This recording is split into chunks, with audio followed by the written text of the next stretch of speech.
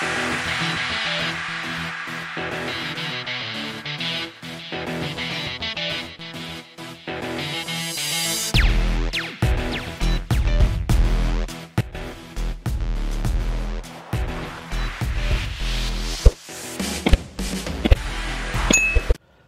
Aero engine is considered as one of the key areas of India's aspiration of achieving self-reliance in defense sector. It is one of the most complex technologies to develop as it requires various metallurgical challenges that need expertise as well as experience. The extremely high rotation of turbine blades and extreme temperature of the core tests the reliability of alloys. The GTRE's Kaveri engine program was sanctioned way back in 1989 with objective to power LCA Tejas fighter jet.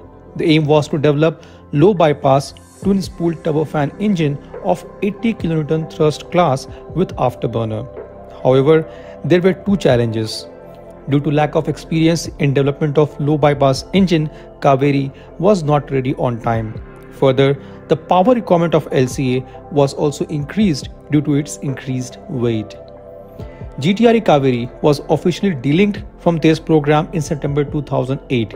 The program was abandoned in 2014.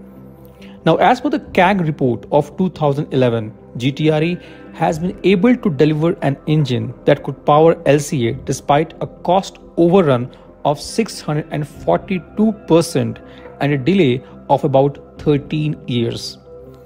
Now, GTRE has defended the delays with non-availability of state-of-art wind tunnel in India and the US technology restrictions.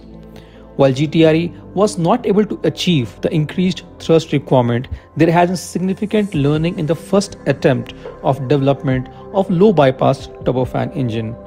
Till now, 9 full prototype of engines and 4 core engines have been built. Total 3217 hours of engine testing has been conducted.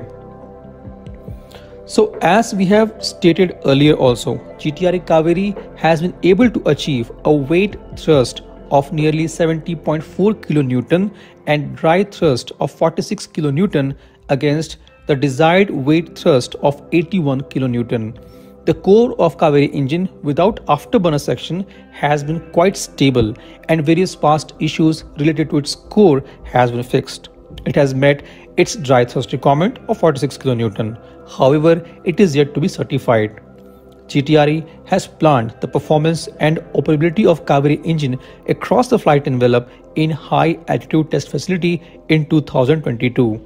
The initial flight release, that is IFR certification of engine, is planned to be completed by 2024. Once the dry Kaveri engine is certified, GTRE may begin the work on upgraded jet engine with a new afterburner section. In October 2022, it was reported that dry Kaveri engine has been sent to Russia for high altitude flight trials. Once the high altitude trials are complete, it will be integrated with a flying test bed based on IL-76 platform. These two steps are extremely crucial for certification of dry Kaveri engine. Once the certification is done, it will be used to power the Ghatak UCAV. In February 2022, it was reported that dry Kaveri engine has successfully completed its high altitude trials at Russian facility where it was tested for various speed, thrust and pressure. The engine was simulated to achieve 46 kN of dry thrust and achieved the dry thrust of 48.5 kilonewtons. This was an important achievement in engine development program of Dry Kaveri, which is to be followed by structural tests and certification.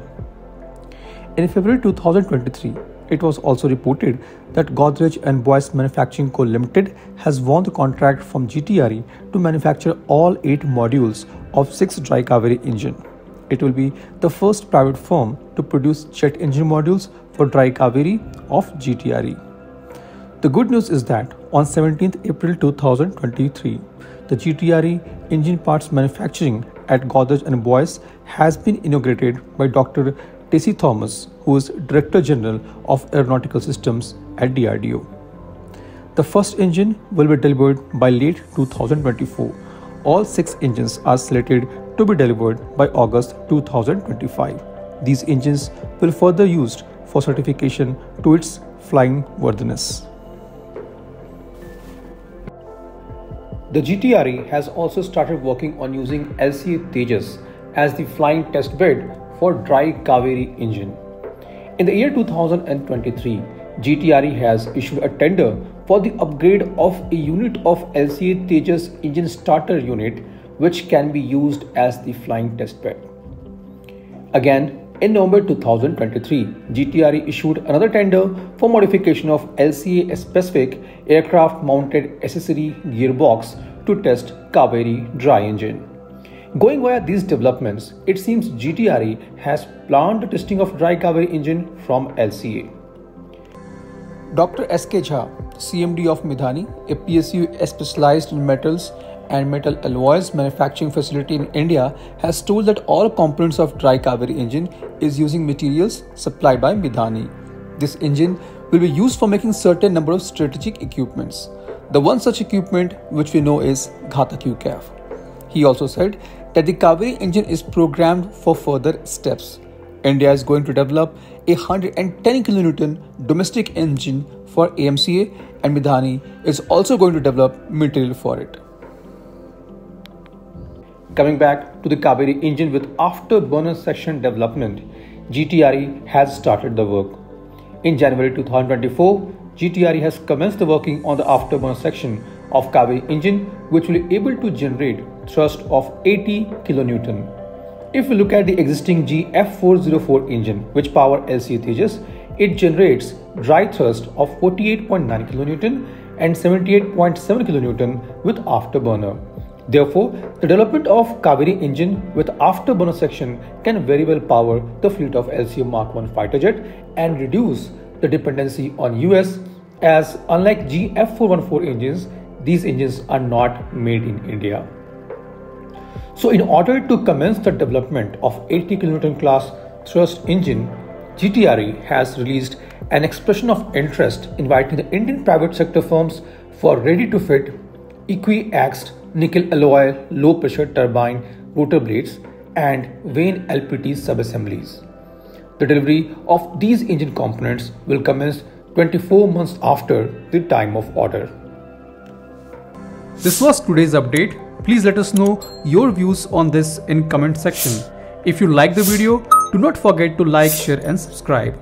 With this, I would like to say goodbye and Jai Hind. We'll soon back with more interesting and amazing development happening in the defense sector.